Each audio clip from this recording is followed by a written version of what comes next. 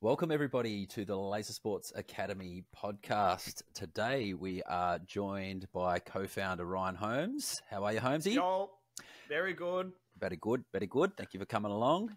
And Mr. Danny Popeyes from New Zealand, uh, legendary player from the Cobras, who everybody knows the Cobras. But if you haven't heard of the Cobras because you've been under a rock, second place in Worlds in 2019. Uh, Danny himself's finaled in every event at Zeltac except for Law, I've heard. Um, lots and lots of uh, podium finishes for that team. Uh, Danny's also now the president of the Laser Sports New Zealand Association and co-founder of our very exciting new player tracking system. So, Danny, welcome along. Thanks for coming along. Hey, yeah, thanks. It's good to be on. Excellent. Uh, so today is just a like all about New Zealand today. Uh, there's a huge amount happening for you guys next year in 2024, um, and yeah, we're here today just to fully unpack all of it. So yeah, we're going to get into the tournaments you got coming up. We're going to talk about what you have going on at a local level, um, what sites are actually engaged in the community, what systems they're running, what the, what the arenas are like, how you guys are picking your teams for Worlds, and there is some exciting news that you're going to announce about a little new event that might be coming up. Uh, as well as an update on the player tracking system. So we've got plenty to get into today. So I thought I'd hand over to you to start, Danny, just for all of us um, from around the planet that don't know what you guys have have going on there. Um, could you give us a bit of background on just what you what sites are, are playing competitions, Yeah, and yeah. leagues, uh, what systems they're running, what the arenas are like, and all that kind of stuff. Yeah, so um, New Zealand's had uh, sort of a long history now of of different sites coming in and coming out. So for us Auckland guys, none of the original sites that we started at exist anymore. So if you played in um, uh, Mount Wellington uh, back in the day, that's gone. Uh, North Shore, we used to call ourselves the North Shore Cobras, that's gone. Um, and we've even had some that have sort of popped up and disappeared in, in the meantime. So in Auckland, it's pretty much just Silverdale now, um, which is it's in Auckland, but it's a bit of a drive for everyone, right? It's like um, like for me, it's a 30 minute drive. Some people it's further. Um, but it's an it's an excellent site. The side op is the guy who who ran offshore back in the day, so he's like our side op. Um, we've also had a lot of help from Fred building the maze and stuff. So um, I don't think he did the original build, but he's come in and improved it a lot. So um, big thanks to him for that. Um, so we're yeah, pretty much Auckland is just Silverdale now. But yeah, it's a fantastic location, um, awesome arena, and like it's just a cool site to be at. So um, we've been, I think, since COVID, uh, sort of struggling to get numbers up. Like we hadn't played team games really at all since um, since COVID until Zaltac, but with a bit of help, we've got um, we've got well, Rachel's sort of running it, so um, she's one of the members on the LSNZ committee, uh, Maldi's partner. She was at um, Zeltec. She's sort of, she's she's running the night at the moment, and um, with help from Annie, who's our other Auckland rep, um, Arcane, and she's sort of seems to have managed to bring everyone from her work along and more. So Nice. we're hitting like 25 people a night now. So we're actually Whoa. getting to the stage where not only can we make teams, but we're having to do rotations and stuff, which is perfect, right? So Is that for your trainings or for league? that's for our, I don't know, our Wednesday night. We call it league night, but it's it's like anyone can go to that. Um, and we've just started um, like a Friday night, which is more like it's aimed at being higher tier. Um, we haven't hit 15 yet, but we will um, pretty soon, I think. So we'll, we'll have those two nights. So it's been ages since we've been able to support two nights in Auckland. Hmm. So it's all in the up and up for us. At home, we've got a lot, like it's heavily skewed towards new players at the moment. Like we've never had such a heavy new player skew, I don't think, for, for years anyway. But it's it's awesome. Like it's yeah, it's like a breath of fresh air at the in the Auckland scene. I think. When, when you've been Uh, through the um, when you've been through the cycle of seeing what happens when you don't have the new players in your scene, how like oh nice yeah, is yeah. it? We used to have this really good dynamic where North Shore was really new player friendly, and then if you wanted like to go hardcore, you'd go to Mount Wellington, and you'd go and it would be like a step up, so everyone could sort of get their get their training wheels on at North Shore, and then go to Mount Wellington for like the next level. Um, so hopefully we can achieve the same sort of thing with the, you know, the Wednesday Friday split. That's all now. I'm also fingers crossed we get more sites in Auckland, right? Like, it's so- it's sort of always on the horizon, but you never know until something happens, right? Yeah. And and uh, I mean, most people know Silverdale's the location for Worlds, so I mean, I'm sure everybody's curious as- as hell to know how the arena plays. Is there any comparable arenas in Australia or globally? Um, so our bases have three doors, and they're pretty much impossible to hold inside.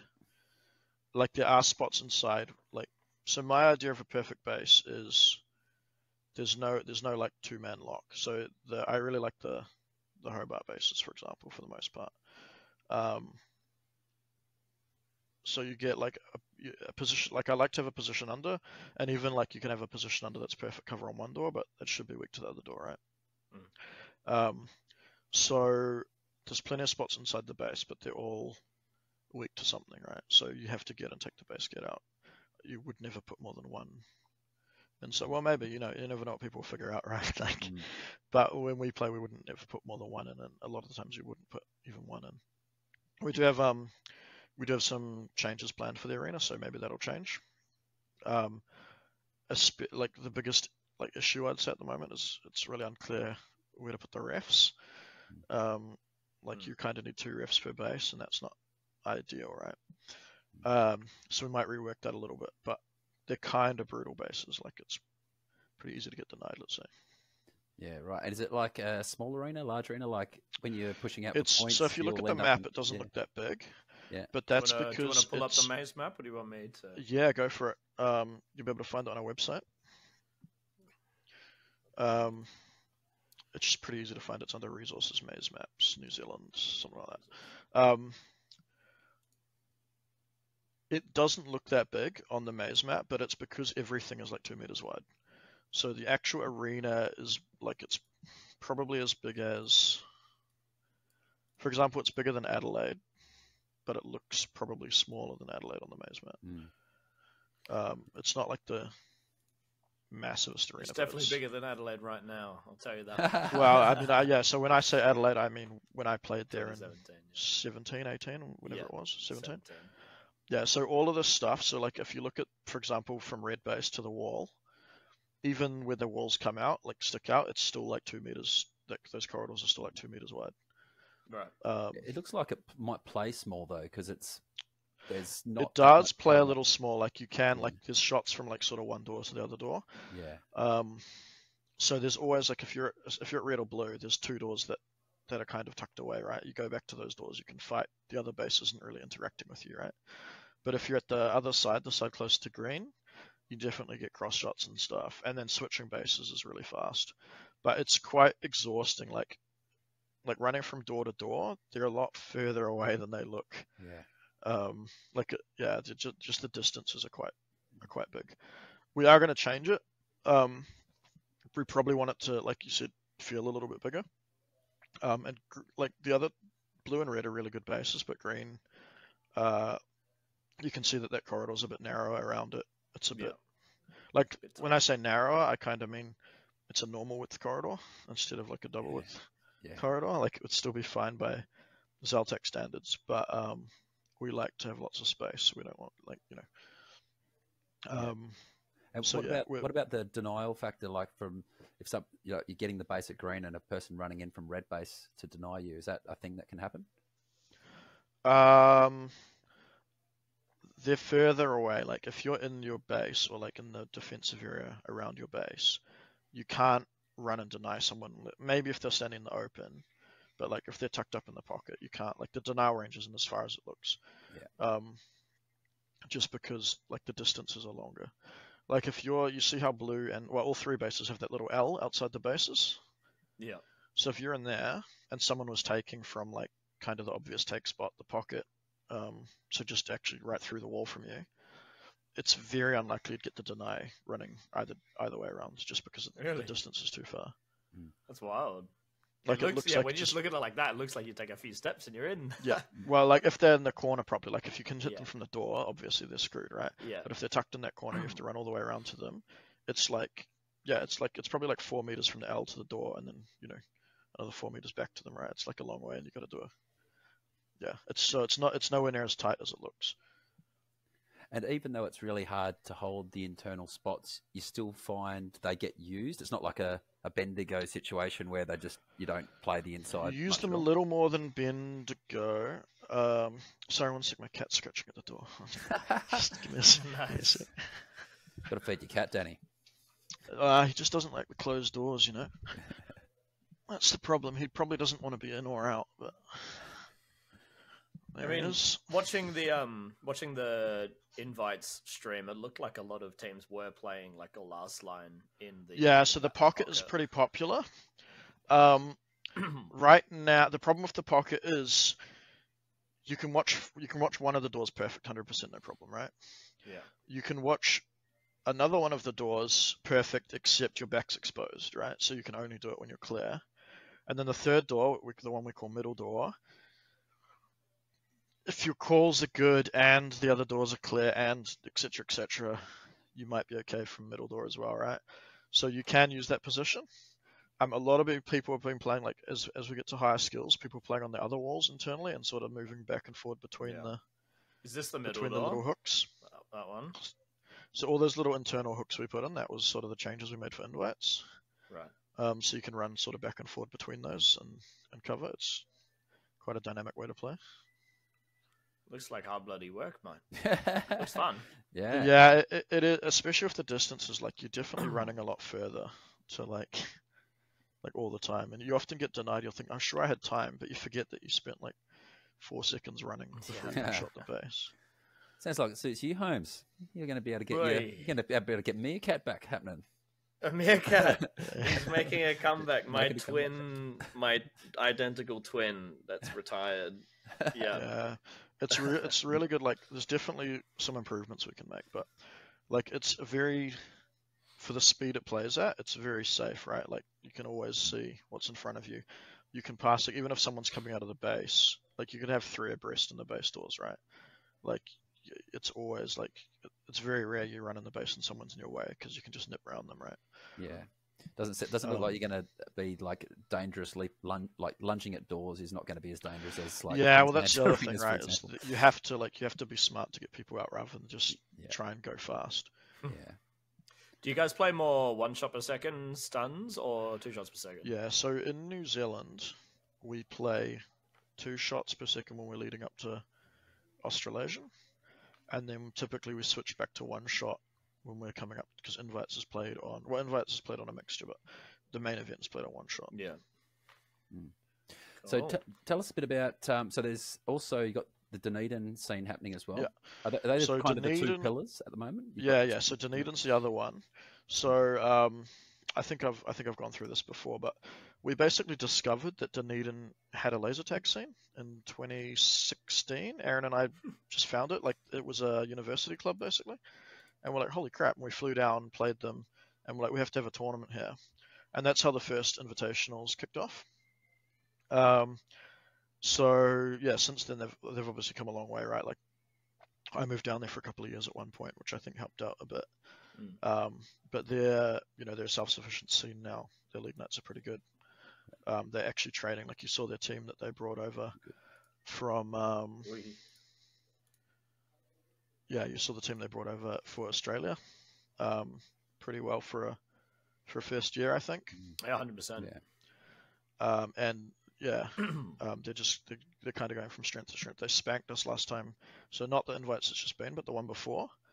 They they won every event, um, including like solos and stuff, right? So um, they beat us, even though we've played this arena. Like it's not like it's like it's a home arena, but it's not you know like we've all played it a bunch of times. Mm. They so they beat us at solos, doubles, triples, everything, right? Mm. There was like out of like the 39 trophies or whatever, if you count, you know, five, 15 for teams, and I think like they got like 31 of them or something. That's crazy. And it's on H two over there, right? Yeah, That so it was it was Helios 2, um, so that was an advantage that they don't normally have, right? We hadn't played it. Mm. But even so, right? Like in our grading system, they've got like a couple of Bs, and then and they're their highest players, right? Um, like they don't even have an A player in Dunedin based on our system, and they like you know completely cleaned up. So uh, credit to them. I, I wouldn't really, I you know I didn't really come out of it being like oh H two H two. Um, there's actually a lot of maze changes planned for Dunedin as well. Um, this map is the arena that we played last time. Mm. Um, it's kind of changed every year that we've played. Um, the guy, the owner, Grant, has a ton of changes planned. I actually, I wonder if I can share them with you guys. I've got, um, I better not because I don't know if they're if they're Alright, public alright, or not. alright, alright. Um, it's But- fine. but so we yeah we went through and designed um, a bunch of changes months and months ago, um, and I think he's doing nine percent of what we recommended. Cool. So uh, we've got a triples tournament in about a month there, or probably less than a month there, and he's he's told us they'll be done by then, right? So I'm excited to see how that shakes out. Is this um arena as small as it seems to be, or is it another uh, like elusive one where it's actually? Well, weirdly, this so this arena has shrunk a couple of times, Mm. but this arena originally was massive. To be honest, like when we first went there, we we're like, "Holy crap, this is huge!" It's like in this old factory. Um, Right. but I wouldn't say all the gaps are wider than they look, so I'm not really sure what gives it the impression of being small. Or maybe it feels bigger than it is when you're in there. I'm not Maybe. sure. They've It's um, space well. it's not a small arena, but it's I wouldn't Yeah. call it a giant arena. But I, when I first went there, I would have called it a giant arena, and they haven't taken that much away. So And do you guys Yeah. use this like this little walkway that's on the right the hand side? of upstairs area. Yeah. Does it get used in comp? Um, so that's changed over the years. We used to just allow it in teams because we like you can do like the there's not really any shots downstairs. There are, but not enough to send someone up there, right? Um, but it was like if you wanted to waste like a minute going up there and sneaking around, sometimes you could get behind a push defense and get a base.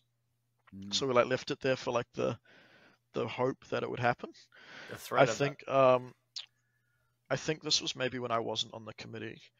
Um, we took it out because, and the reasoning for taking it out was we can't have refs up there. What if someone hurts themselves up there? Like no one's ever going to find them, right? Um, we've always banned it for side events because otherwise the whole like if you have upstairs allowed in solos, solos we played upstairs only, right?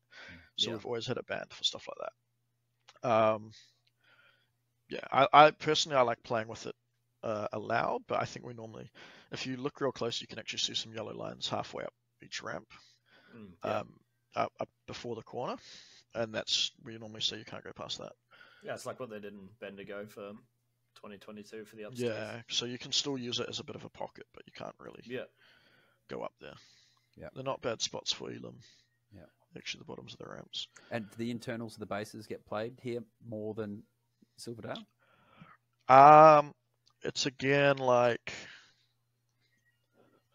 yes, but more like as a temporary measure. Um, green diff in this in this iteration, green you could put two inside. It wasn't Mm. completely bonkers, but you could do it. Red, you don't really plan side. You probably wouldn't plan side, or you'd plan side only, only in certain configurations Yeah. if it was top tier. But remember, we're playing with the whole range, right? Ev- Every team will have like an E Yeah. player and an A player on it, so you might put them inside anyway because it's easy, even if it's not like optimal, you know. And then blue this year, you see that one person zone in blue. Mm. That was a very high skill position. Um, to the point where like if the guy didn't want to come out, he wasn't coming out, and you just had to deal with you just had to deal with him being there while you took the base, kind of thing. Um, looks like the, the, the box in Darwin. That one was pretty. Yeah, crazy. so with one shot per second and with H2 phases, they're not impossible to get out, yeah. but they also don't have full control over the base, so you could just take the base while they're in there, right? Yeah. Um, in New Zealand, we don't have those rules about taking the base while you're outside the base, etc. So we call it sneak taking, and it's always been uh, an important part of our meta. It's always just Mm. been fully allowed. You're not allowed to like bounce it off a roof or through a crack in the wall or whatever, but if you can see the base, it's fair game. I think it makes Like- sense when when a when bases play like this. Yeah, Like, it, it, it's so- a, yeah, it's a sensible rule to have. yeah. So if you look at blue base, for example, um, the door at the bottom of the page, I don't know what you'd- we call that back door, I think, but a very common take is just to stand on that pink area and take the base. Right. Um, so we'd call that sneak back, sneak back, sneak back, right? Mm. Um, and you can do that while the guy's in the pocket, fine. I think the main, because I'm all for, I like sneak takes as well, and it's like if you, I think like if you don't want people to be able to shoot the base from outside, then don't design the base so it can be. But the bit, the main, very convincing argument I've heard for not allowing the sneak takes, as you put it, is, um, especially in Australia, a lot of the time once you hear a shot on the base, right? A lot of the traffic is flowing inward toward the base, right? Because the, the person's going to be in there. And there's an argument that if they're able to shoot it from the outside, when people don't know where they're taking from, you'll have really, and obviously it's, that's the, the fastest, most high paced part of the game is when shots are on. Then you've got high paced traffic coming in and out of the base to get this person. And um, that was the that was a pretty That hasn't been our experience. Like I would Right. even say when it's crowded. Sometimes you know when there's so many people to base that even when the base there's a chance, you can't take the chance because you've got to navigate your way around yeah all the people. and by the time you've done that, the chance is gone. Like Mm. having extra take spots really helps with that as well, right? that's true. Yeah, and I think Um, also when when like it's common that you're going to take it from like that pink area outside blue, people just like the, And people's people speed and everything adjust accordingly. Yeah, and people know. Like the thing is, you know how you get a bit of a sense about what the next couple of plays are going to be. Yeah. People will call that they're setting up the sneak, right? Because you can't just do it. Like you're exposed to everything when you do it, right? Yeah. Um, so, I yeah, I wouldn't say it improves safety, but it it definitely doesn't hurt it. Um, Yeah. in our experience. No, that's fair. Cool. Um, all right, so let's move on, guys. Uh, we are going to talk a little bit about worlds, but before we do that, Danny, um, can you give us a bit of a lay of the land in terms of how you guys run things in New Zealand, like how your associations set up, um, who Yep. yeah, who makes decisions on things, um, yeah, Yeah, yeah. So we probably got started earlier than most states. I don't want to say all states, and I also don't know. Like the Australian history is so long that I'm sure there's been organisations that have finished, like you know, started and then ended up wrapping up before we got started. Yeah. But we're pretty early, so we started really with that first tournament in 2016. Um, the big driver was Aaron Vidak. Um, like I've always been involved, but he was the he was the one that wanted it. So after we played in Brisbane and we saw the Brisbane scene, and we're like, there's no way we can compete with Queensland without a similar scene. Um, like we need people to train against, right? So we started it up back then. We weren't calling it LSNZ to begin with, but we started running a league night.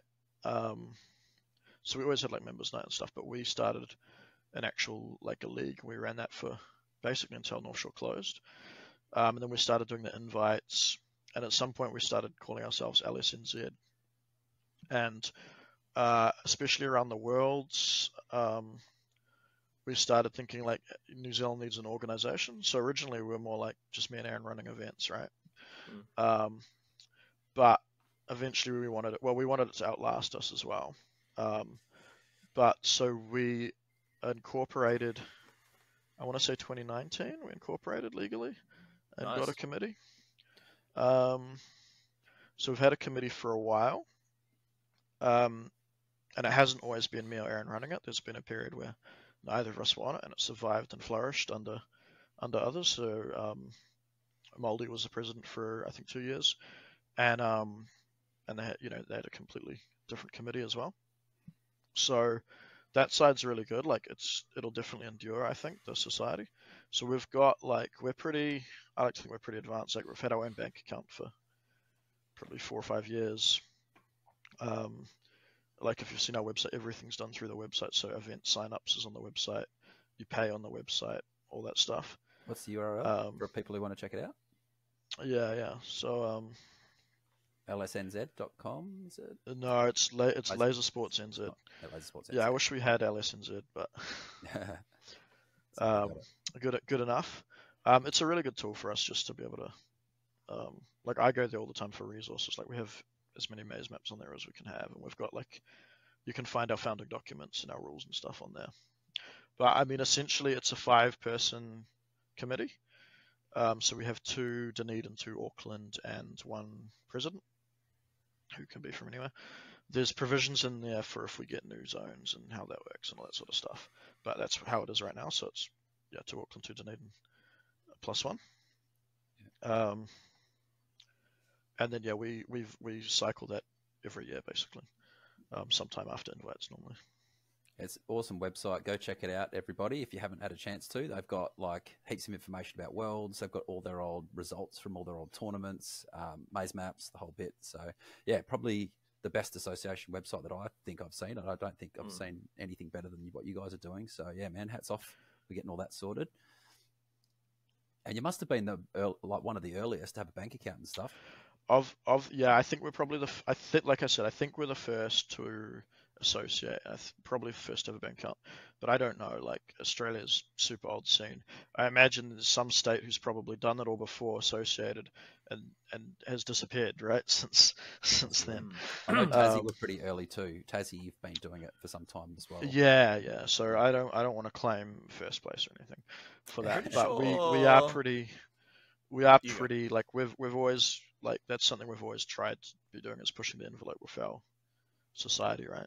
Yeah, Yeah. cool. I'm pretty sure Adelaide's actually had a what do we call it? We called it ZPI.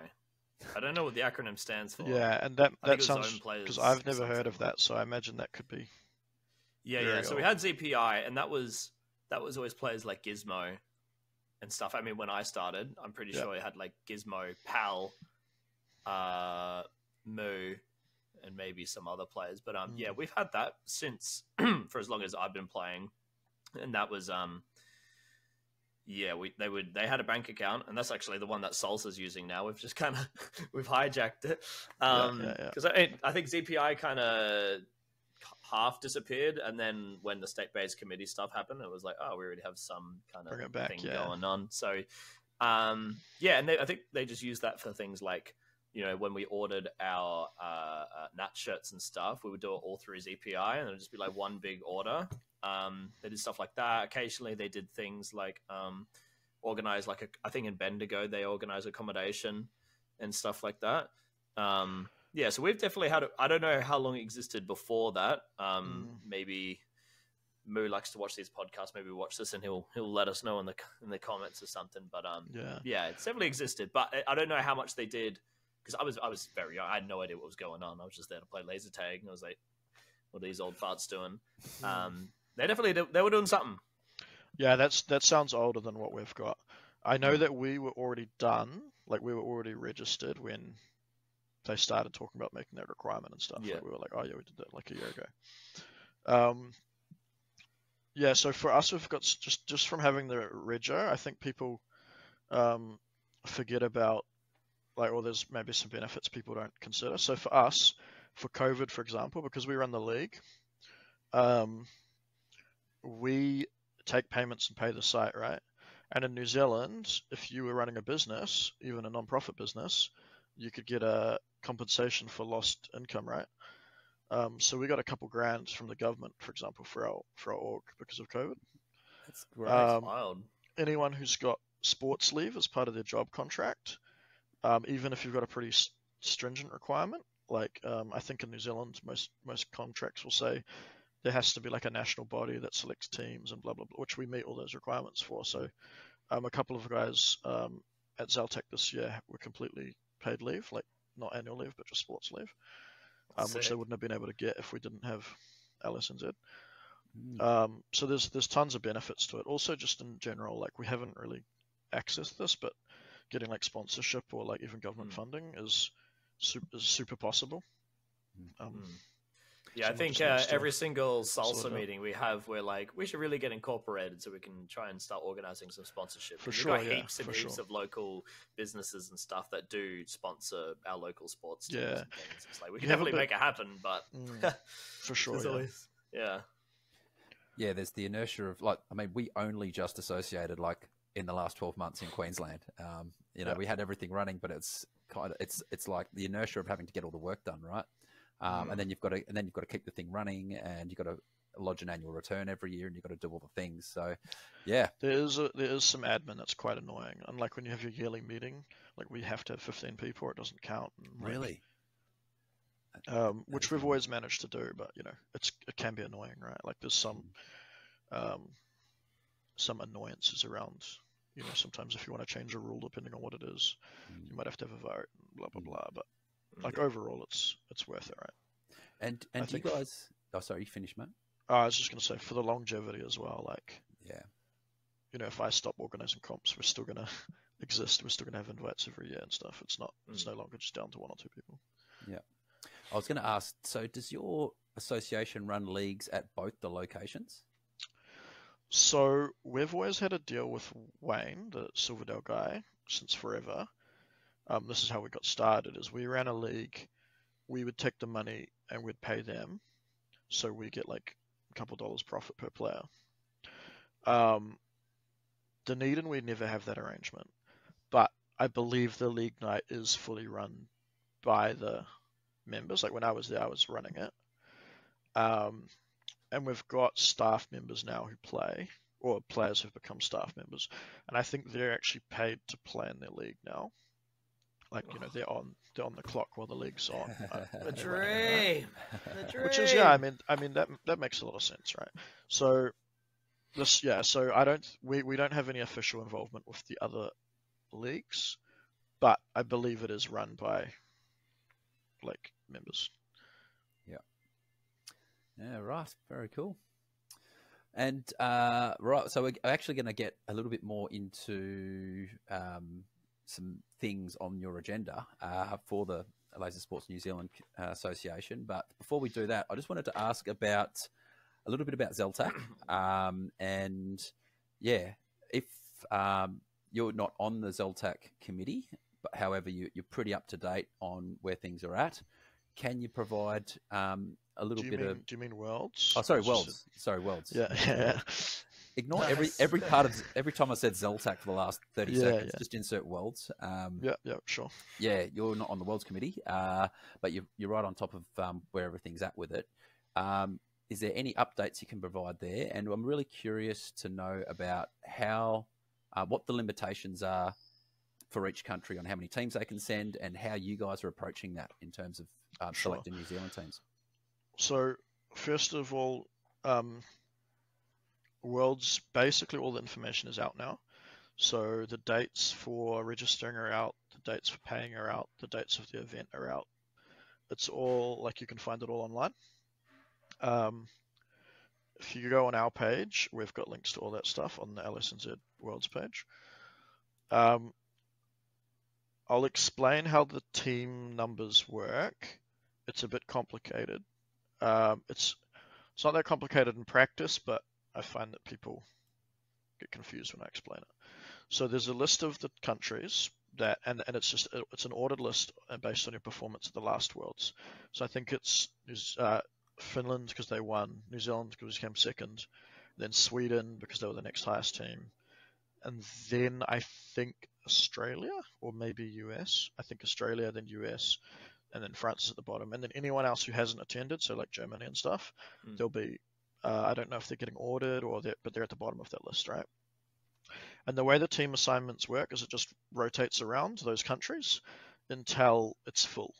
So it'll go. Um, so it'll go. Finland gets a spot, then New Zealand gets a spot, then Sweden gets a spot, then Australia, and so on, right? Um, and at some point, you can imagine these countries are going to stop sending teams, right? So if it keeps rotating around like that, you get three. After three, you wouldn't get any more. Um, you wouldn't get any more than three unless we haven't met the team cap yet, right? Um, so you're pretty much guaranteed three. There's a scenario where you don't get three. and that's if it hits the the ultimate team cap, right? So the ma- absolute max size is 21. So you have imagine we had 21 countries, you'd only get one each, right? Yeah. Um, you're likely to get three because we're going to have about seven countries, and of those countries, not all of them are going to send three. So we're unlikely to hit that 21 number. So I would be assuming everyone gets three. I wouldn't even be worrying about that 21 thing. I'd be assuming everyone gets three. Um, so then what happens? Imagine we're rotating around and um, all the countries are done except for New Zealand and Australia because that's realistically that's probably going to happen, right? And say we're at like 12 teams at that point, it's going to keep going until we get to 15.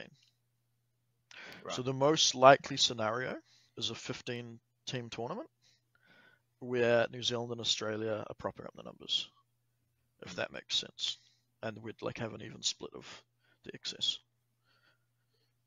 Righty ho. So I would be, if I was, if I was applying for Worlds as a New Zealand or Australia, I'd be pretty. I'd, I'd know for a fact we're going to get three teams. Right, it's guaranteed, basically guaranteed. Um, and I would be expecting we're probably going to get four, maybe five teams. Mm. Yeah. Um, that's that. That's that's how it works. Um, that, that'd be the same for you probably expect Australia would be in the same boat as New Zealand in terms of those numbers. The only difference between NZ and Australia is we're higher ranked than you, so we'd get our fourth spot, and then you'd get your fourth spot, and so on. Um, the other difference is we might actually exhaust, like we might run out of teams, whereas you guys have an infinite number of teams, right? Pretty much. Um, it depends who applies, obviously, but like if, if, for example, if all our Nats teams applied and all your Nats teams applied, our three Nats teams would all get to go. Whereas for you guys, you'd have some decisions to make, right? Mm. How are you guys going to make your decisions? So we've actually just announced it yesterday, I believe. I posted it. Um, so you need to produce a ranked list of all your teams because you don't actually know how many you're going to get, right? So what you provide to the Worlds Committee is a ordered list. So ours is mostly committee decision, so the LSNZ committee will decide. What we've said is it's going to be, we already grade all of our players, so it's going to be mostly based on just the raw gradings. So if your team is numerically higher, but if you're like, you know, they're not perfect, and for example, if you had all the worst C players on your team and another team had all the best of their grade, and like, you know, you know what I mean, maybe it flips, or say you've got like an A player who hasn't played for two years, you know, like maybe we take things like that into account, but Mm. it'll essentially be just ranked purely on your grades with a little bit of discussion um, from our committee if needed. In and practice, those, the we probably- grades for each of the individuals is something that the committee votes on, right? Yeah, so those grades are done every year. Mm. Um, you can also request a regrade whenever you want, and I've said if you're applying for Worlds and you think your grade's too low, request a regrade. Um, but yeah, like if we're looking at the applications and there's a player who's obviously undergraded, you know, we can take that into account, right? Mm. Um, but yeah, the grades are done just by committee. Um, we use we use stats to we use stats to tell us which players we need to look at, and then it's it's a vote. Um, in practice, our grades are pretty accurate. Like when we look at our stats, the grades that we've put on are very Mm. good predictors of how people are going to come out. All right, opinion time, Holmes. How yeah, you- what's what, up? What, what do you think uh, is the right approach for us Aussies to be selecting our teams? Oh, it's so hard. I think, um, I mean, organization wise, this this would definitely be the hardest. But having a selections tournament because we've got so many teams we could send would be also just kind of cool. Um, it gives us whatever teams are planning on going an opportunity to basically do a, a pre worlds in Australia on the settings that obviously in Australia we don't normally play one shot second stands. Um, that would make the most sense in terms of like it's pretty clear cut. The best three teams at this tournament get to go. Obviously, there's an issue of like where would you host that tournament? Maybe you host a tournament multiple. Who knows? Um, but I think realistically, that probably is a lot to organize, and I don't think it would happen.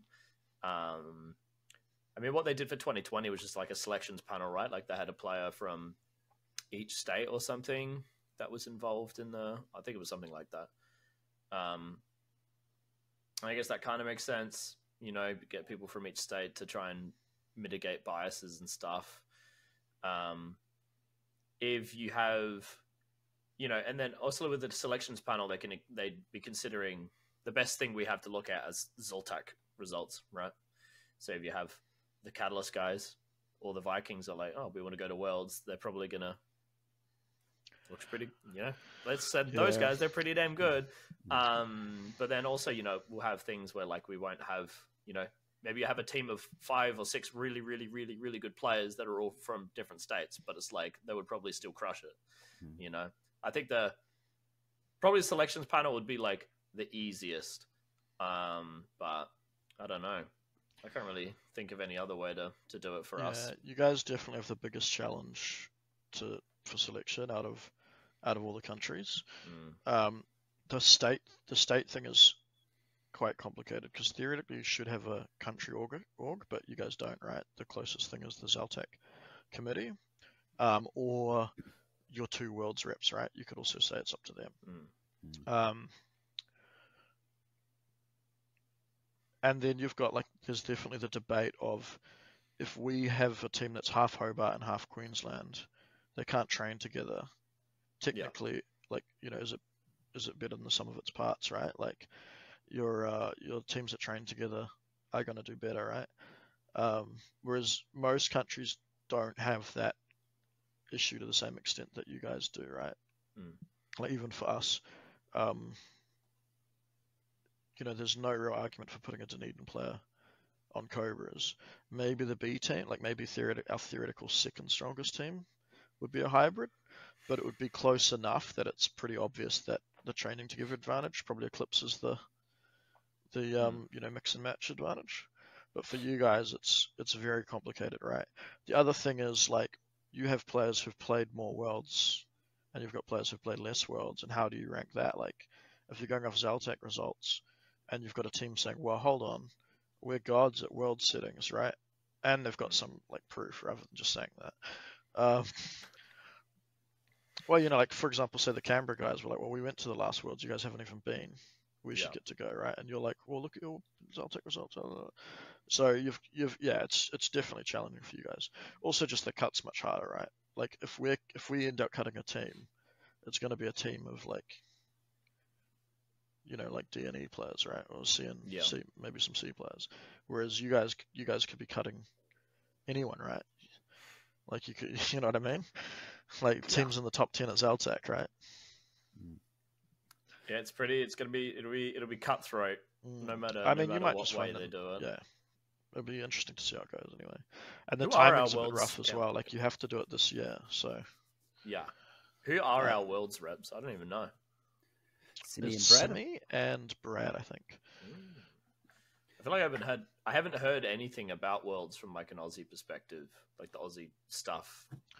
Yeah, look, Jono's been very vocal that um, from Australian point of view, if you're having troubles or if you have any concerns or whatever, just come straight to him. So Jono's Right. president of the Worlds Committee. Yeah. Um, so like if you're a top team and like if you're Wolfpack, let's say, or whatever they're calling themselves now. Um, that's, that's Catalyst. Sorry. yeah, yeah. How many If you years cut- have been Catalyst for? We're still calling them Wolfpack. This is Ah, gonna no, be 'cause a- I- a I wasn't there for that, thing. I wasn't there for that. true. if you're if you're Forget about it. Catalyst, right, and then and then the committee comes down and like they say, oh, it's going to be committee vote, and then they don't pick you. Yeah. Like I'd probably go to John and be like, hey man, like, what's going on? Yeah. Um, the Worlds Committee has said it has to be a performance-based selection. They haven't said, you know, blah blah blah, but you can't be doing like, oh, we sent these guys because they're really good role models in our community or whatever.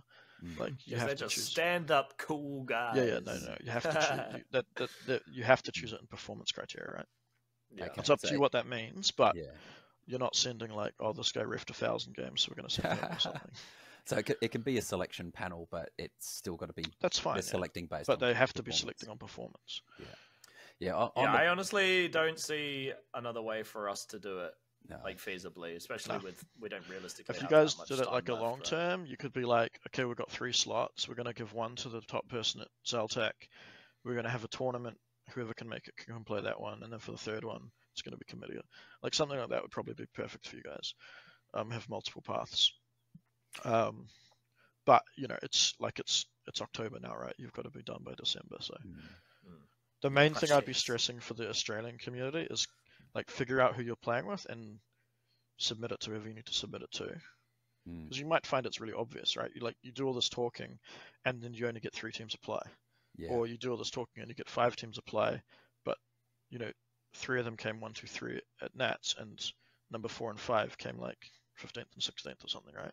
And like you don't really, you know what I mean? You don't really need to have a vote at that point.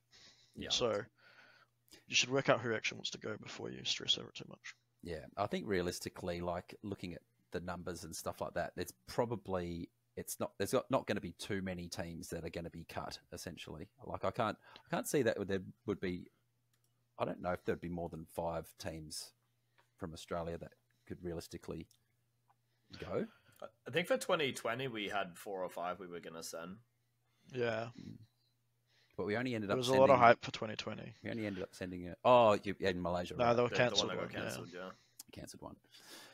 Yeah, I, I'm a big fan of the selection panel, especially um, like we introduced it locally here in, in Queensland, and I think when you get to the point where you've got enough p- play, senior players in your community that can make uh, like uh, objective decisions, um, you know that, and they can remove their own personal biases and stuff, and you know you've got trusted people that can do that, which we do in Australia. I think it becomes like um, such a good choice because any kind of selection tournament is always going to be there's always going to be a player who can't make it or um, players who can't make it and it's going to and, and it's an extra expense as well um, it's going to be too difficult to to coordinate all that so it has to be some kind of people selecting it uh, and a selection panel can take into account all the factors because like once you start mixing teams and some players have played on h2 and some players haven't and the tassie guys play on uh, world settings all the time, but the Queensland players don't. I think a, sele- a selection panel can like, you know, uh, juggle all those different factors um, to make a It- final yeah, decision. It's, just, it's a very hard thing to do, um, but it's also a good catch or Like, you know, a selection panel, you don't need to, you, you know, you could do it in a day, right? Like, when you're time when you're time pressured, like it's it's the way to go. And like we have the same thing in New Zealand. Like, if we're gonna have a tournament, do we have it in Dunedin or do we have it in Auckland? And like Yeah. X, Y, Z. Um, Yeah. But yeah, I, th- I think um, I would rather play for it personally if you can come up with a solution that works. But and I and like ask saying someone, look, you have to come to this local comp to go to Worlds. To me, that's not that big a Yeah. that's not that big an ask, right? You're talking about the World Championships. Especially if it's like scheduled enough in advance, Yeah. right? If you're like the, by the way, we're doing our selection comp in one week, And like two weeks, from now, yeah. and it's like, what? I I have things on, but if it's announced far enough in advance, I Mm, think. But I would I would do multiple events. Like imagine you guys Yeah. did four over the year in different places, and winning any one of them got you a spot, right?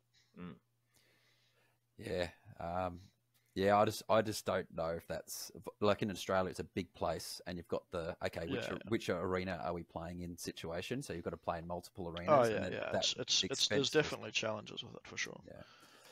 Yeah. Anyway, lots lots for Simi and Brad to think through. Uh, good luck with that one, guys. Um, What we need is one arena that no one ever plays in, and we just do our world's qualifier tournaments in. That wouldn't. Well, I that be think nice? um did New South Wales do their selection in Canberra one year? Um, I think for the New South Wales, for like for Zeltac, you meant? Yeah.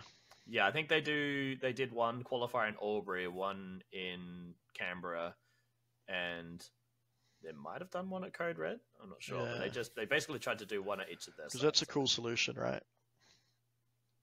Uh, for Mm. example, you guys could come to New Zealand and play one, and then the it's cheapest true, place you for know what us I to go. Yeah. It's the maze that uh, it's the right maze, and then you'll know who's going to be better on those maze on those packs.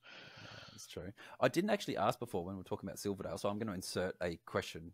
It's like regressing back to a previous conversation. What what packs are currently at Silverdale, and what are they going to have at Worlds? Silverdale is currently pro. Okay, but they're going to have H two. It will be H2, yeah. They will be H two. There we go. Cool. And I'm praying we get them early enough to actually train with them. That would be nice. Oh, It'll, be yeah. a co- it'll be a Cobra's first to train on the correct packs. Yeah, right. Hmm. okay. Yeah, I mean, um, yeah, I mean, I think Albury's Albury's been waiting for their H two packs for a, a little bit now as well, Mm. from what I understand. Because I mean, pre-Nats one was supposed to be on H two, but it's now I think it's. Uh, if I knew it was going to be on Nexus, I would have gone, man. Like Nexus. I is so know. I so good. I can't wait. So is, As it, is, it- someone that's been on Nexus for the last like six years, I can't wait. is the hold up so- with the manufacturing, or is it the hold up like a budget I free d- thing? I'm pretty sure it's the manufacturing. It's like the it's the and it's not even the the plastics. It's like the electronics. I think Yeah. Okay. that's my understanding. Yeah. Cool.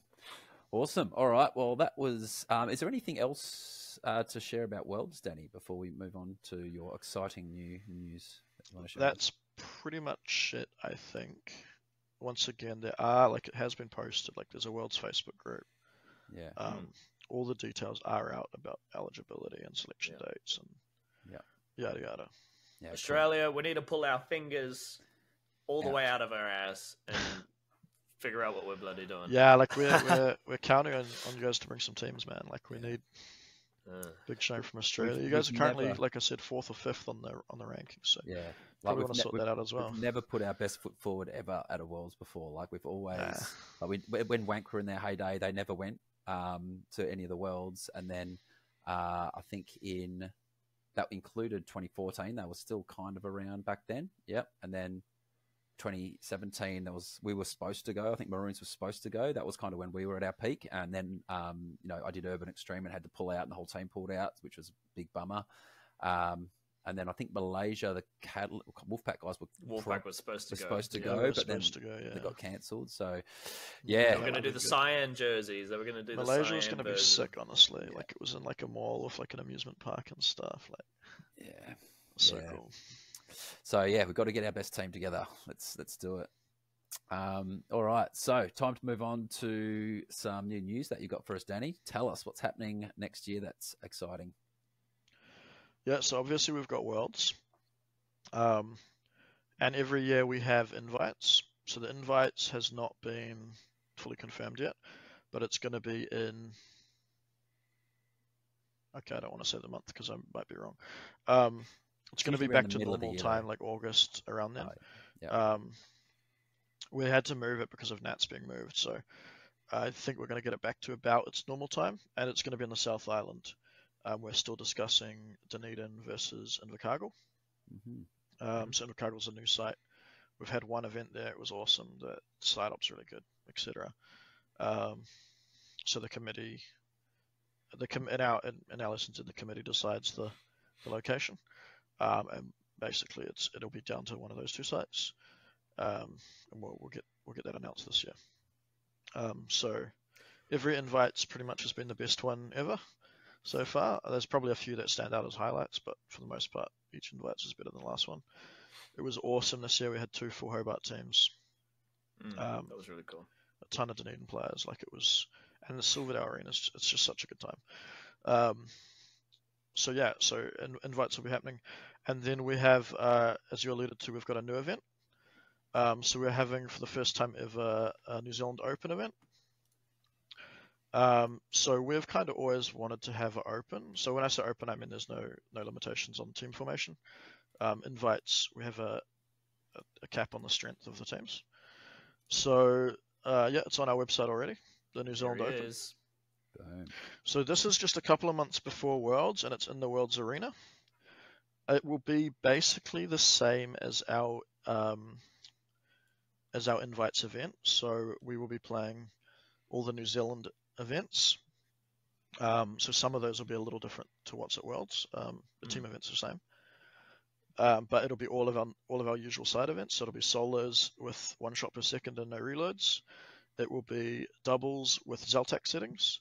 It will be triples elimination, and it will be, um, well, it's New Zealand teams, but it's basically world's teams. Um, we have a slightly different rule book, but the settings are all the same. Yeah. Um, and we may or may not include uh, tag team as well. What's tag team? the is two, is that the two v two? That's our two v two format, yeah. Yeah. Um, so we ran that for the first time. Well, actually, we've run it a couple times now, but it's um, if you scroll down to the maze map again, Um, basically, in those little crosses on the there's one on the left and one on the right. Um, we play two versus two in each of those crosses, so it's similar to Lord of the Rings. Uh, it's a very cool game format. Um, four second spawns, uh, one shot per second, stuns, two second stuns, but you only have to do one stun and then a kill. Uh, and you only have 20 lives. So um, imagine if you had 20 lives in lore, it'd be better because once you start getting spanked, you just get eliminated and the game ends rather than getting spanked for six minutes straight. Right? so um, that's why it's got lives and it works out really well. The games take about 90 seconds each. yeah. You've only got four seconds spawn, so it's full running. Yeah. Um, it's awesome. So good. we have a similar game we train on, and like, you, man, you sweat. Like, Yeah, yeah. is- It's uh, it's an awesome, it's an awesome format. Um, we're undecided whether it'll be a permanent fixture in invites. It's so far it's been a bit of a Silverdale special.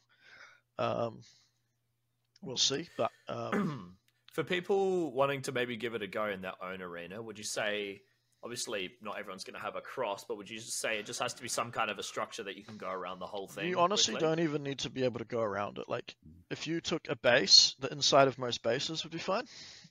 Um, Hmm, one thing you might want to say is no touching the walls. We considered saying that because like people pushing themselves into into a pocket or whatever isn't really in the spirit of it. Um, in in practice, what happens if someone does that is you just two v one their other guy, and then because it's Right. lives, right? So you just kill their other guy while while he hides. But um, the inside of any base is fine. Um, but yeah, just mark off areas. I think the Hobart guys were playing it, but they were playing it in like a third of the maze, Right. like because they didn't know. Um, That's a that's a lot of running. I could be, I could be, I could be misremembering that. Maybe it was the Dunedin guys who were doing that. I don't know. Anyway, it's it's pretty flexible. Like we've played it. Mm. Um, like if you look right in the middle of our map where there's those all those parallel lines. yeah. Um, like just below green base, we've played it there as well. Hmm. Um, which was also fine. Like you can you can kind of play anywhere.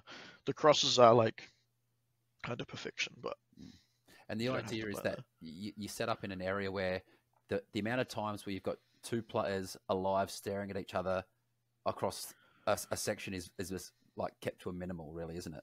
Like, Yeah, so the other thing we do to prevent that, like that, you're right. Like we, we've kind of failed if the game ever ends on time. Like it's set to five Yeah. minutes, and in theory it should be over in about 90 seconds. So if it ever goes to five minutes, you've stuffed up, right? Um, what we do is the other thing is if you do tie, like if, if you if you survive and someone on the other team survives, that counts as you both losing in terms of VP and stuff. Um, Right. So there's no there's no incentive ever to wait it out. You just Mhm. lose if you wait it out. Yeah, yeah, I think it's um I think finding especially in the wake of I was gonna ask as well, I'll finish this train of thought. In the wake of obviously a lot of um scenes got kind of destroyed by COVID and some of them are still very much struggling. Like Victoria, for instance, is like Mm. not doing particularly well. I think that's where formats like this that can still be like Oh, yeah. super competitive and you can even though the settings are different um you're still very much just like working on and sharpening your fundamental skills So triple Um, Zelim is really good as well. Um, yeah because again we only put four teams of three in. yeah But like this is the big secret about tournaments is you need like people almost have more fun the more time they're sitting out. Because when you're not playing, like so you need enough games, right? But when you're not playing, you're socializing and like so with this when there's only four people in the arena, even if you've only got like 12, 14, 16 people at your tournament, you still get a lot of downtime. And you can even mm. only, you know, we put two two lots of two in, right? Yeah But you could even just put one lot of two in, right? And you'd even need a you play a tournament with only ten people, and you could still have a little pyramid or whatever. yeah Um, so for, for sure, yeah, it's it's really great. Like we've we run, we haven't run a teams comp outside of invites for like definitely since COVID, but even pre-COVID it was rare. Like we, all of our comps are triples, doubles, whatever. Um, we've had a lot of success mixing formats. So the triples tournament in um, Dunedin in about two three weeks, um, we'll be playing like you know like Zeltac doubles style. So three bases on, get your bases, just regular what you guys would call regular triples. and that'll have six teams in the arena, and we'll be playing like New Zealand Triple Zealand, which is four teams in the arena, and then we'll be playing um, tag team, which is well, you can have like it's two v two, so it's two teams in the arena, but you might have two going on at once, right? We did this Yeah. last year; it was awesome. It actually felt like like you know that campaign feel you get at Nats. It was a two day Mm. tournament, but still had that campaign. So we do like a round robin, well, you know, not a round robin, but like a round one, whatever you want to call it. You get different VP for each event, and then our final system was actually like the top six teams played the six man triples, and then the top and then we kicked two out, right? And the top four play the four man triples, and then Mm. the top two in that played the two man triples, right? For Right. for first and second. Yeah, yeah. So even finals was all three form. It was awesome. Like it was such a cool event. Um, and we're doing the exact same. And the same with doubles, right? We can do one base doubles. We can do um, we can do like uh, full doubles. We can do um, tag team now. You could do doubles elim if you wanted. Um, yeah, Yeah, I that- think that- um, our uh, league scene in Adelaide has actually been like pretty dead for the last few seasons. Like, um, we've gotten struggled to get enough to do team games uh, most weeks, and um, something I've started doing towards the end of last season, and I'm going to be doing this season as well, is just doing like one night tournaments. So rather than you know league being like this this you know 10 week commitment thing which when you've got people that are like inconsistently rocking up like you make teams but then like teams are always having subs so like the teams feel Yeah. different every week. Um making every night feel a little bit more like its own event. And Oh, um, again with like low numbers like doing things like we we we did swede format last week but um yeah doing t- formats like that is a i think it's yeah they're super fun. And at the end of the day, obviously people miss the uh, strategic part from like the our normal five five five player team team games. Um, but like the fundamental skills are just yeah, they're still very much there. Mm, If for not sure. even more important because you, there isn't as nearly as much you know strategy you can lean you on to just kind of circumvent game it. strategy. Yeah. Yeah, no, you kind of have to, you know, work on your skills. So, Yeah. no, I, I I love all of these these smaller formats, and I think yeah, any state that feels like they're struggling should definitely be doing doing these kinds of formats. Oh yeah, for sure. Hmm. and there is a way to actually still still have a season, so to speak. So this is how we run all our junior and homeschool leagues and stuff like that. So the teams change each week, and the game format changes each week, but every player is allocated points based upon how their team went, and then the more they, the more frequently they rock up during the season, and if on Yeah. average their team is doing well, the higher they get on the ladder. So you can still turn it into a seasony thing. Do you use that Yeah. same rank for balancing, or do you balance with a different rank? Uh, we do for those um, competitions because they're just kind of, um, you know, they're lower level. We don't have gradings or anything or handicaps or anything like that. We just basically yeah. form roughly fair teams and they change Yeah, each week. just hand just hand for hand pick them. Yeah. Yeah. So another thing we've got that I haven't mentioned is um this is another one that Rachel's done. Um, because we've got the gradings. She actually has an app that makes teams. Um, so as people arrive, we also use it for payments and stuff, right? But as people arrive on the night, we just say who's who's there, and you press the button that makes the teams. It's not perfect, but people like get less angry when the machine stacks the teams than when a player does it. yeah, for sure. Um, so it's pretty good for that. And then there's also like back in the day, we actually tried doing exactly what you're saying. So you, the app, you know, you manually grade all the players and then you play. And if you win, it increases your grade a little bit. You know, you get a point. So, you know, you go up. And if you lose, you go down. And then ideally, as people like sort of separate out, um, we found that it didn't work with the low numbers because it would just sort of always make the same team, right? Um, but if you have like, it might be time to bring it back for us because we're hitting 25 players a week. Mm. We're hitting 25 players without everyone being there, you know. Mm. Um, Right. So, w- Mm. yeah, we're probably going to look at a, at a solution for more quickly making Mhm. five balanced teams and, and running the games because it, it's you know once you get to those numbers, it's quite challenging unless you're really good at doing it manually. So who- whose app is this that creates the teams? Uh, Rachel's app. Rachel's app. Is she open to sharing? Is Rachel open Yeah, sharing? probably, that? Yeah, I'm, I'm sure. I look, it's it's it's like pretty straightforward. I think it just does like an S because every grade has Oh, like yeah. a value, right? So like a A is like 600 points and a B is Yeah. 400 points or Mm. whatever, right? And it just does a. I know she doesn't use the same numbers that we use in Mm. words, and then I think it just does an S, Mm. and then it goes. These are the most unbalanced teams, and then like swaps players and just tries to a bit like how Doug's grids work. Yeah. Um, it just does it just does swaps to try and improve it, Mm. and then those are your teams. Mm. Um, but yeah, I mean for sure, talk to her if you. Mm. Um, so that app we also use to register everyone as they arrive on site, and it tells us. So we sell a pa- like a five week pass, um, and it tells us whether they're on the pass or not as well, or whether they need to pay. Mm. Um, That's cool. and then like it does all that stuff, right? Because we Mm. pay, because we like we have our own paywave machine, like Mm. LSNZ paywave thing. So we take the money directly off everyone, and then we pay the site um, based on how many people are there. Cool. So we need to do all that quickly, right? Yeah, that's awesome. You guys all got that set up. I, f- I find I found the um, the changeable team league great. Uh, so when I started at Urban Extreme, I, I, used it to get started. I find it so helpful at the beginning when all the players Yeah. are new. They're deciding whether they actually want to spend their discretionary time on this thing called laser tag. So their attendance is inconsistent. Um, and you need people to socially integrate, so you need them to kind of be on different teams each week. Yeah.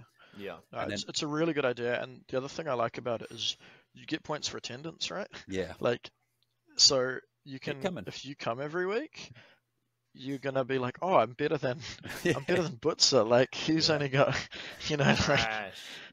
even if he wins every time he plays, if he doesn't play every week, It's true how You know, you washed he is. Check it out. Mm. wow, you know, like, it, it, the thing is, it gives you like, if you have like five different ways to measure yourself, you'll focus on the one that you're doing the best on, right? Yeah. So like you know when you have like a handicap league and you let people see the real scores, Yeah. if they won on the real scores, they'll be like, oh well, we won the real scores. Who cares about the handicap, right? And if they run on the handicap, you'll be like, oh well, I won on the handicap. and if you won individually, you can be like, well, I won, right? And like you'll hear people be like, oh well, I got the highest accuracy, or like whatever you can Yeah. take away to prove that you're like. So if you've got like this attendance thing, it's just like another Yeah. Another like thing that you could be competing on. Yeah, I might actually in- integrate that what you were saying into to the Adelaide League now because I'm pretty much running it. Yeah, you myself can you can literally moment. just go home and be like, here's everyone's points for the night. You got ten points, you got eight points, you got six Yeah. points. Yeah. Cool. Um, all right. I reckon it's time to talk about uh, a certain player tracking system. What do you reckon? I reckon. I reckon. Yeah, sure, sure. Yeah. Where, where's where's it at, mate? Where everybody is just so pumped about this thing. So I'm not sure if you if, have you guys seen what we had at invites. Have you actually Yeah, checked out the video? I watched the finals. Yeah. Yeah. So it's basically in a similar state like from a, from like what you see, it still looks like that. Um, just pull it up. we've we've obviously had a bit of a break since like Nats and stuff. Um, we're sort of ramping back into it now. Um, but this is the basic system. So there's a couple of things like there's a lot of behind the scenes stuff we're working on. We're trying to get you know the dots moving around a bit smoother. You can Yeah. see that um, well, in a, there's a couple dots stuck at the bottom left at the moment, Yeah. but pretty soon it's, it should just be one. It was really pissed me off. There was one that was stuck at the bottom left for the whole of finals, and I kept going in to try and find it and fix it, but I couldn't. Um, so it's it's a shame that that was happening for finals because we have many games where there was no stuck packs, right? But obviously, um, you know, we're going to sort that out. Um, the big project for us at the moment is like cleaning everything up. So to run this, I have to be running like I have to bring my laptop, put it on the network, run the code on the laptop. Like it doesn't work when we're not there. Even Mm. though we do have a Raspberry Pi in the arena that's running like half the code. So like our next steps is having everything running on the arena and having a permanent scoreboard at the site. So the site up's already asked us to make it just a permanent thing. Um, so that's kind of, and that's kind of what we need to do anyway, is like, you know, packaged it together as a complete system, right? Mm. Um, so yeah, we will have this for Worlds. We will have this for the New Zealand Open, which will be in Silverdale.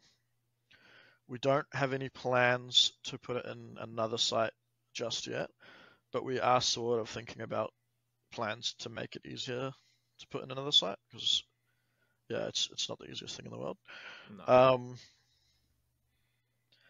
yeah, so basically, like the a lot of what we're doing now is back end, and then it, it'll be another pass over the the front end, right? So the main things we want to do is obviously on the right hand side. Um, there's a lot of information there. Like we think this is pretty much enough to watch a game without having to jump back to the five by three. Mhm. But we want to make it so that no one's ever going, oh, I wish I could see X, Y, Z. Mm. I think we've overdone it with the base info. Like you can sort of see the same info in three different ways. Um, like if you look yeah, at like the green- what are the boxes, man? yeah. So let's so if you just look at green team, Mm. um, so they've got ten green boxes, right? Which means their base hasn't been hit at all. Oh, If a red player was to destroy it, one of those green boxes would. Uh, well, if you look at if you look at Hobart Swipers, you see blue. How you can see a red player has taken one of their bases. right. So that'll show you the order that the bases have gone down by That's and what cool. color and stuff. And then the bottom line is your takes, right? So if you look at red team, they've lost one base to green and they've got one blue base, right? Yeah. And then if you look at the actual players, you can see who those players are that's got the base. So you can see that on, on red team it's Chewy that Yeah. got um, red blue base. But you can also see when you look at the player dots themselves, you can see which bases they've got. You see those little orbs at the bottom of the dots. Oh, I thought they were feet. I thought they were feet this whole the- time. Yeah, it's actually the bases. And the reason we put those there is like the idea is like you look at blue base and you can see okay, there's two T people attacking blue base and they both need it, or there's two Mm. people attacking blue base but one of them's got it, Yeah. or there's two people at blue base but they're obviously just trolling because they've both got you know like you can tell that at a glance rather than having to look at the look at the Yeah. map and then look at the scoreboard and like. Mm. But I think that we've kind of you know, there's like we've got the same information three times.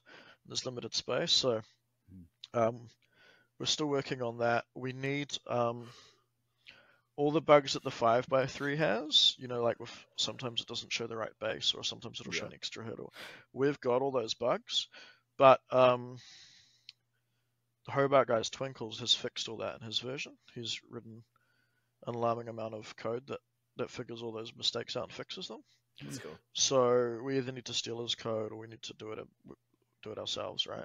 Because we'd like it to be, you know, truly accurate. Yeah. Mm. Sure. Um, but yeah, number one is like cleaning up behind the scenes, and then number two is going to be um, cleaning up the scoreboard. Um, we think the scoreboard's pretty good, but like obviously we want to get it better. Mm. Um, and we're always looking for feedback on what we can improve on the score side of things. Um, the other one is like, you know, the maze map. Like, with, this is why we made it grey instead of white. It just like it looks a bit awkward, like the way it's presented. We're not really sure how to make it. No matter what we do, it just looks like a piece of paper with lines on it. You know, like I want to make it. We want to make it look cooler somehow, but I'm not really sure what the I feel what the like go with that is. I feel like it having a dark background and making the walls lighter looks really nice. I'm actually just I, just yesterday actually I, I filmed a, a video at home uh a, like a position breakdown for the field pointing position rather than demonstrating in an arena I've got my a maze map that I've Yeah, done yeah. up and um yeah for that I have the background like not black but like that you know that charcoal black that Yeah, everyone yeah, yeah. loves I you have, it like that kind have, of a black and stuff. and then white lines and stuff. And I think I think that looks that looks nice because I get what you mean. Like when you have a grey background, it kind of looks it looks like a prototype when it has a grey background. Yeah, yeah. so Um, we're trying to like it looked even worse with a white background. Uh, Yeah, so No, so yeah, And I may, think maybe you're right. Maybe going inverted.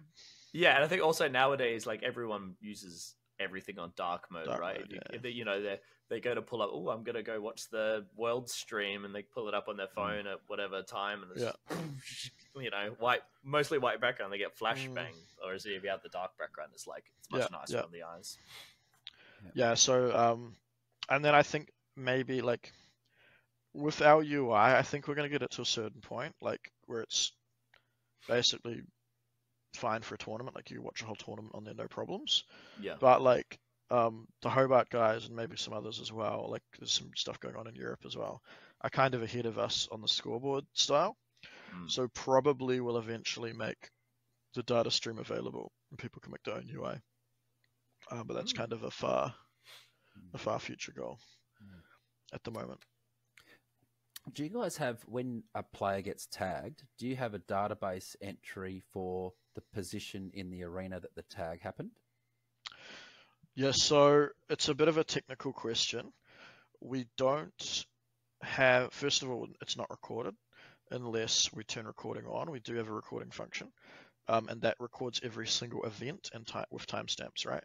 Mm. Um, the game event, the the actual stuff that's coming in the game, like the tags and stuff, is just PNC, and the it's just like what your normal scoreboard reads, same as a five by three and everything, and the data, the positioning data is ours, right? So when like when a player tags another player, when we get the event from PNC, we draw the line between the two Mm.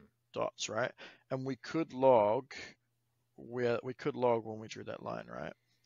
Um, Yeah. and where where it was from and to. So you could say, yeah, okay. Um, because in the future, like stats is probably the big one that we're going to work on next. We'd Mm. love to be able to display like tag ratio on defense, tag ratio on attack, um, Yeah, that- even like tag ratio in the base, right? Like, Yeah. like once you cross that baseline, how many people did you tag or whatever? Yeah. Like, um, that That- sort of stuff is the next sort of thing we want to do, and we definitely, yeah. Um, at the moment, it's it's not really a stats machine; it, it's just live.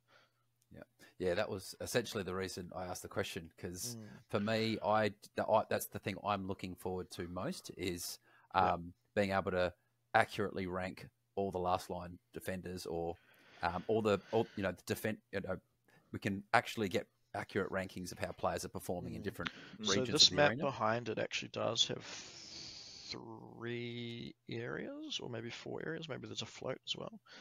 Um, and we did originally have like a little sword and a little shield icon, um, and it would switch to a sword when you went into like enemy territory. Um, but uh, it didn't always work. we hadn't we hadn't finished it um, by invite, so we took it out. But Mm. that's Cool. that's like that's we're really big on that, like actually being able to use because this is basically for spectating, right? Mm. Um, and it's cool to watch back your games as well. Mm. Mm. But it doesn't give you like at the moment it's it doesn't give you any data. Mm. But we're aware that there's a ton of data that would be awesome to have. I think distance traveled too. So being able to compare people in particular Mm. roles, like your GCs, for example, and looking at the distance they're traveling, um, and in and and a heat map of obviously where they're spending most of their time Oh, and things like that. Yeah, for But sure. it's it's you know we've seen how much the stream has enhanced the level of play um, in the Australasian scene, and once we get to that point, it's going to take another you know big leap forward. Oh forward. yeah. Mm. Yeah, it's another thing about Silverdale that we're really lucky. Like if you look at the cameras on the left, um, each one of those is basically looking at the take spot. Um, But you can see they're really, like they're good quality. Their color, they look really nice. Yeah, that looks nice. Um, there's actually like 12 cameras in there, and they're all that quality. Oh.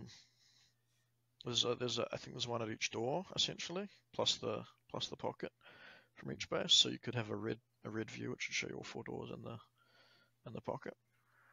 Um, and then yeah, we've got um, we've got a bit of skills in NZ. Like um, the guy who puts the stream together is uh, Troggy. Not sh- I don't think he's been to a Zeltac. Um, but he's been doing this stuff for us for years, and he's he's awesome. Looks like a really yeah, I feel like the, the the ability to which you can analyze your games with tools like this is just insane. Like I know there's quite a lot of FPS esports at the moment that have the technology where um, I'll just use Overwatch as an example because that was the one I played. But they added um, replays in that, and Mm. so it wasn't like a recording of your game, like just a they just record your screen. It's an actual like every single event is kind of like logged, and then when you watch it back, it's like those events are being replayed. But then you can be in a spectator camera and you can view it from literally whatever perspective you Mm, want Yeah.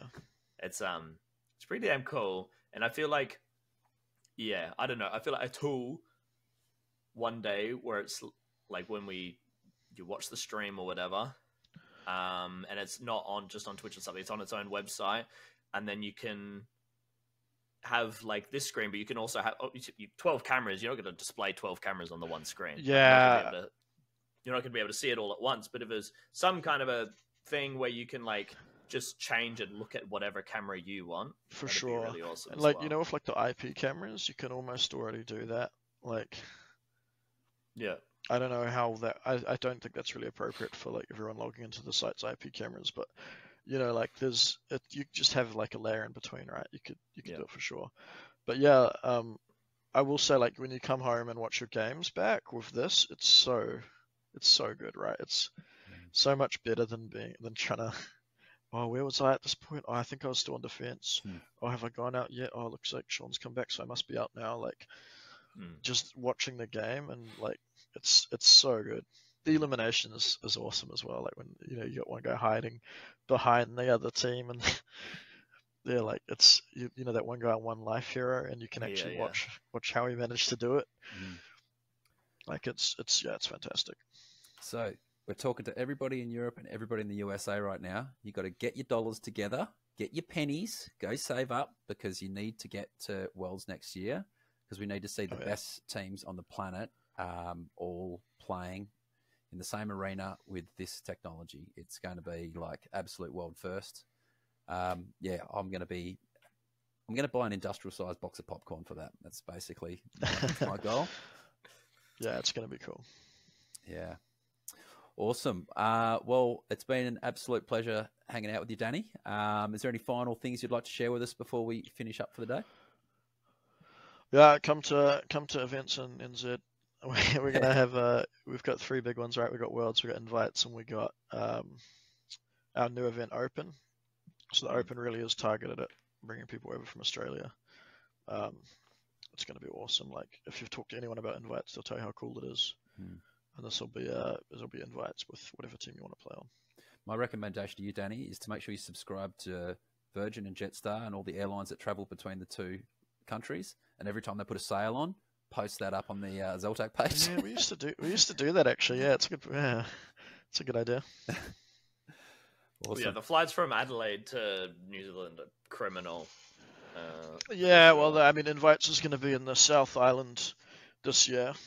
Um, we have had Australians come to Dunedin a bunch of times, but never like, you know, we had ten we had ten Hobart players this year, um, and and we had uh, like Guinea was there. Um, hopefully, there's no one I'm forgetting from another state. Brad was uh, there as well, right?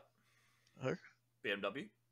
Uh, yeah, he was. Yeah, he's been to a bunch, right? Which is Mhm. it's, he's been to Dunedin at least once, I think.